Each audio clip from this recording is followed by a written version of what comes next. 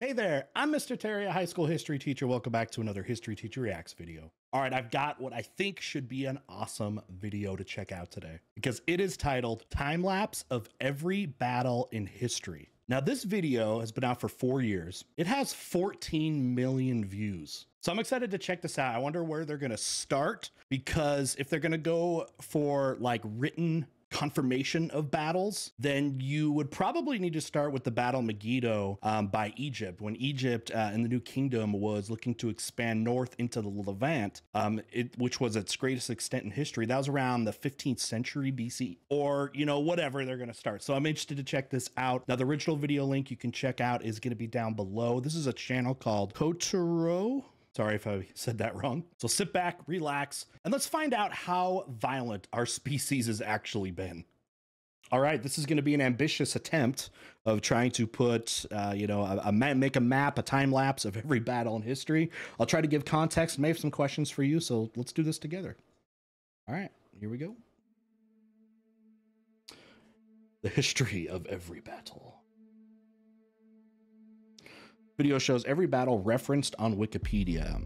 I wonder how much of these will have, if they're gonna go, okay, they're starting at 2500 BC. Now the first, like, a lot of people say like legitimately written and recorded and like verifiable, I guess, war uh, was Battle Megiddo, which was with uh, with Egypt, and um, they were coming up here into what's called the Levant area. Hopefully, you can see my um, my mouse here, but this is the eastern side of the Mediterranean. They were fighting a you know, coalition basically of different groups like the Canaanites. And that was written and been kind of verified. So if they're going to have some stuff, and that was, by the way, was about 1500 BC, around there. Um, battles before that, I would like to know from you guys if they put up any here of what is kind of the source material and what is is it is it and the verifiability of it. But let's check with there. All right. Other things the map looks like we got a box country and battles one, so maybe there'll be a scoreboard here, I guess. All right, I run it through. Okay, so yes, we did. So it's before Battle Megiddo, so we do see some stuff. We see some stuff in Mesopotamia. Okay, we have up there China. So we got uh, China, which had never been unified up to this point, largely. Um, but we got that going on. And then, yeah, this, so we got one in Armenia, Akkad. Okay, so Akkad is considered often by many to be the first empire, a, a, group, a centralized group that ruled over a diversity of subject peoples, with Sargon of Akkad known as like the first emperor. But um, but yeah, textual evidence. Guess we're not seeing that, even though we're going to have uh, cuneiform and that kind of stuff, but hard to preserve and verify a lot of that. But let's go ahead and jump up. Hopefully, we see one pop up around here. Okay, yep. Yeah, so Megiddo. So you see these ones up here. This was Egypt.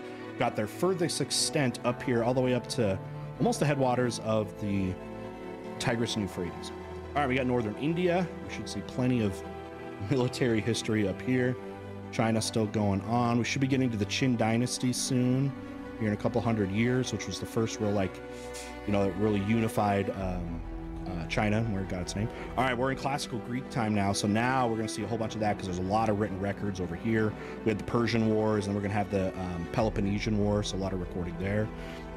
Uh, going to be getting to Punic Wars too. Should yep, we're seeing you know a lot of the fight over the Sicilian island there, which is a major part between the Carthaginians and the Romans. But we're still Roman Republic era, but that's going to be coming to an end. All right, Roman under oh, Rome under Republic era was taking over the whole rim here of the uh, southern Europe, northern Mediterranean, where they conquered Spain. Should see some uh, stuff popping up here with Julius Caesar as they were pressing up. Yeah, okay, yeah, there you go. You see how, how, how aggressive that was over here in what's in modern day France. Um, you know, Caesar and their legions, uh, you know, they massacred by millions probably of the Gauls up here um, up here in, in, in France. Okay, we are moving to the uh, Imperial Age because his end, his rule ends the sort of uh, Republic Age. Get Rome pushing around. Um, yep, at the east too. Okay, we got some here in Central Asia. We got stuff going on. All right, turn of the millennium. Roman, uh, uh, Roman Empire era now. They're going to start spreading up. You're going up north into southern England, and they'll get kind of Wales, cut off about where Scotland is. That's the farthest they go, and they just kind of hold on to that. Got some other stuff going on. We got Arabia, we got uh, Alexandria, so we got some stuff going on there in northern there. All right, this is the Han Dynasty is going to be coming in. That's kind of the seen as like the golden age of classical uh, ancient um, um, China. Okay, and so, but no empire building really ever happens without warfare, to some extent, right? All right. Anyway, uh, Roman uh, Empire is going to, Western Rome is going to collapse here um, at 476. So we should see a whole bunch of invasions, and we already are. Germanic invasions into Western Europe. Okay, still got, you know, if you notice, not really popping much here in Africa. um, don't make that believe you there was no war there, but written records in this time in Africa are almost non existent. So, got to verify that stuff. Sweden. But here in the Black Sea, right where Kaffa was, there was a dot up there. Entrance to the Black Sea, therefore the Mediterranean.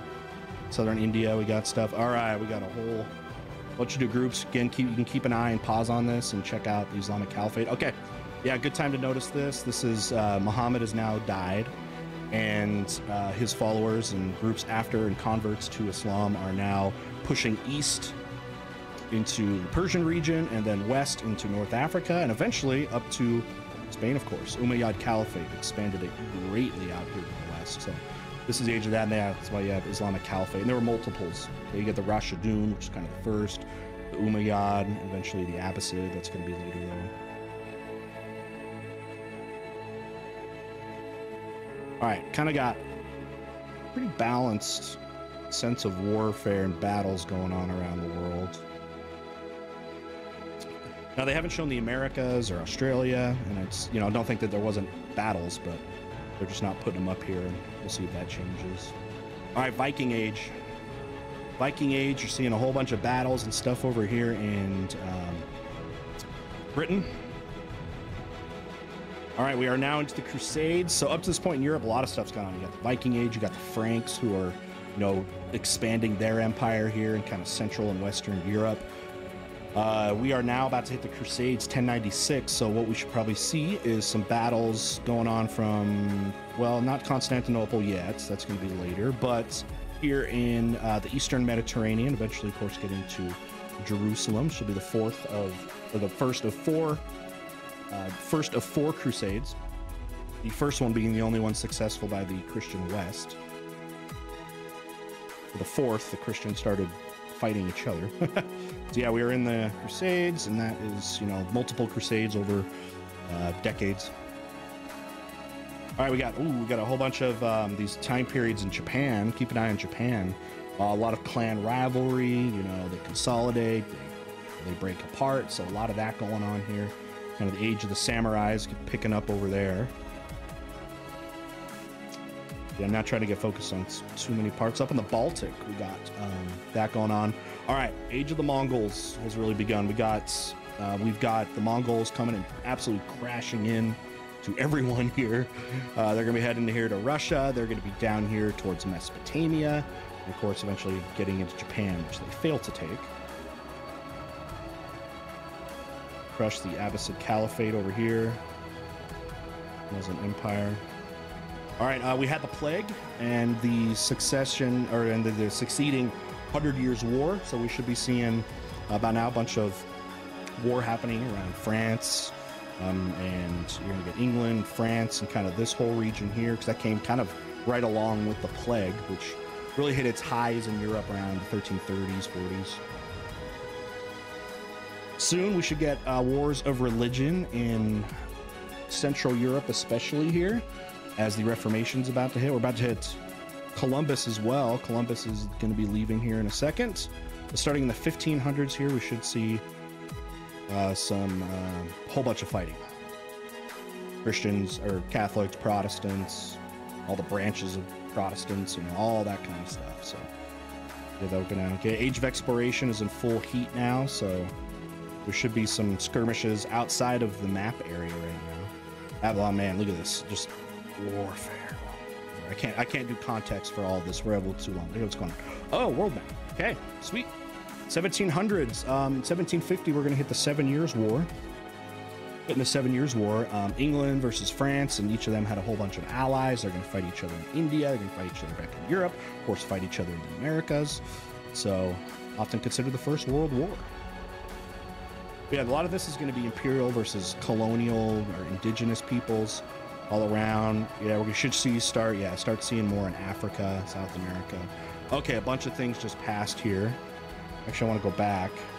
Um, let's look at North America real fast. So, okay, 1728. So we're almost to the Seven Years' War, which is in the 1750s.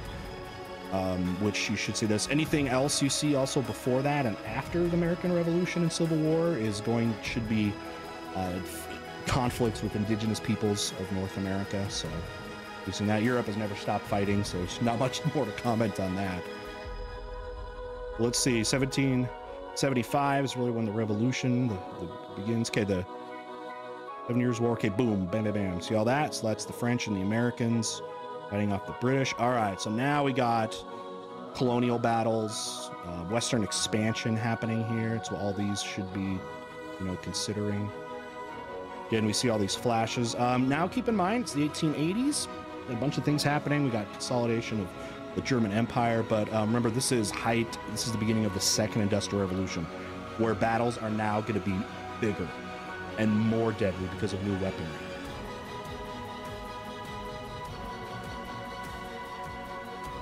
So a big string of Nile battles, battles around the Nile. Okay. Oh, we just missed a whole bunch of things. I do not. We know it goes too fast. We gotta look. It's World War One and World War Two time. So keep an eye in uh, here on the the timeline down below. Okay, we need to go about 1914 to 1918. Let's see a big explosion there, and then the big explosion, of course, between 1939 and 1949 with the World Wars. All right. Let's see. It's probably going to be in like well, the whole thing probably over five seconds. So, all right, World War One's over, and World War Two started, and World War Two's over. you see that? Let's look at that light show again. It's 1880. Let's let's look. I mean, of course, it's going to be all over, but especially let's look in Europe here. Boom, World War One. Cool down. World War Two. See how much bigger the World War Two scope was? That was crazy. All right, we're Cold War. Now, what's good about this next era we're looking at here? This is 1953, uh, which I mean, it's still showing some of the lights that were, um, some lights that were going on. You know, it's still left over from World War II. But now, let's imagine this: 1953. Now, with major powers, the thing to be, you know, concerned about is nuclear war. Now, right? We're in the Cold War, so let's see if now you know the first century of the 20th century or first half of the 20th century the last half of the 20th century let's see now if that the the rush of you know big big battles is going to be as big all right cools down ah suez K. we got um, one thing i want to note to you now let me get to about where, where i want to be okay let's start by here 1970s we're in the 60s now we're going to get these uh, arab israeli wars um, happening over here, which was of you know grave conflict. Uh, we also have Vietnam.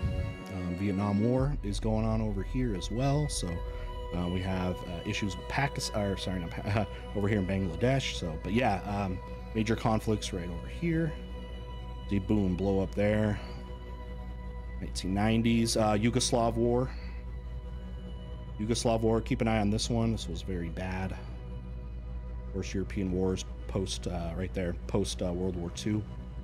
Yugoslavia breaks up, very deadly in that conflict. All right, 9/11. We got 9/11. Let's let's let's rewind and start about right there.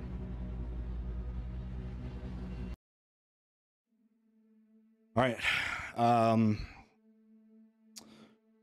yes, yeah, so you're gonna see Iraq blow up and Afghanistan. You saw them come up around similar time.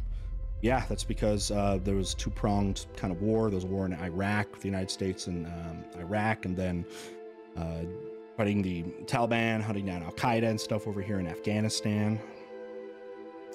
And it will remain, even though by this time, it's 2017, both uh, Saddam Hussein and Osama bin Laden have been killed, although uh, bin Laden was killed in Pakistan, just a little bit closer to India there. All right, it looks like the video stops in 2017. Look at Africa right now. This is civil war. Now, why so much civil war? This is still the decolonization era. After World War II, when empires, you know, classical empires couldn't hold on to their uh, empires anymore, countries were getting their independence. Some some would be peaceful. European nation would just kind of give over the country, but that was very difficult for the, the home people. And then some of those new places then had had civil wars within each other due to a long history of, you know, they had been controlled by European power.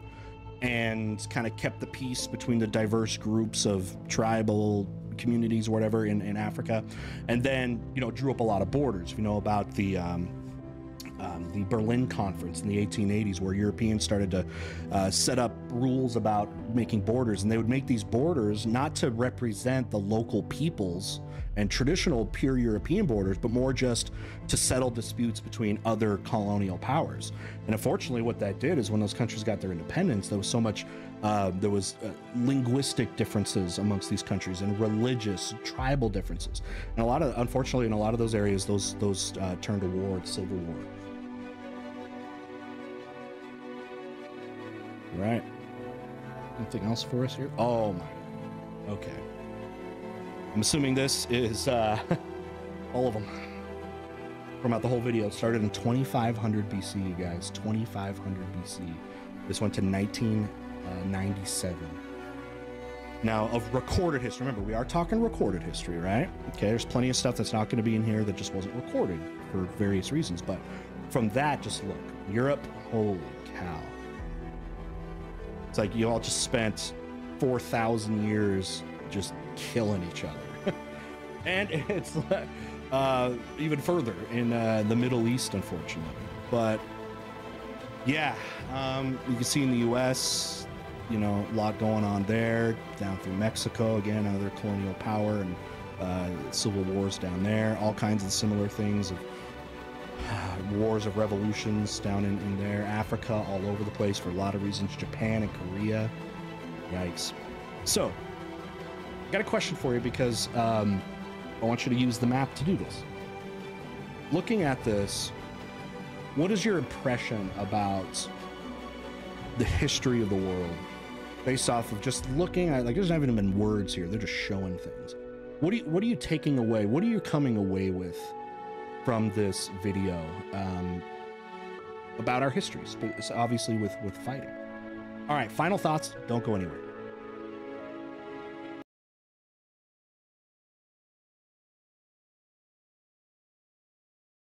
All right, so you heard my question there, um, which was, you know, what coming away from this, and hopefully I was able to add a lot of context. That's what that's what I was hoping this type of video would be, is something I can add context to.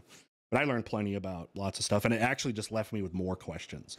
There's a lot of stuff I learned from that map that I don't know, that I actually didn't learn about certain regions. There was a bunch of dots in places that I had no idea, to be honest, what was going on. So feel free to help me out with that. If you notice anything, you want to shout out any of the, the battles and their significance you know, throw them down in the comments there. But my question as we were leaving was, what what are you taking away from this? Is it more battles than you thought? Is it fewer? Is it about where you thought it would be? What does it tell us about the history of our planet and us as humans? All right, hopefully you found this informational. Uh, I had a lot of fun checking this out uh, just to learn and get that visual perspective. So awesome. All right. Okay, um, thanks again to the original creator, the original one with like the original mu- cool music and other stuff in there. Uh, that link is going to be down below, so make sure make sure you're supporting that. That video has like 14 million views, so uh, it's been popular. and You'll probably hear a lot of discussions in their comment section. But please leave a bunch of comments down below about your observations from the video. And with that, we'll see you next time.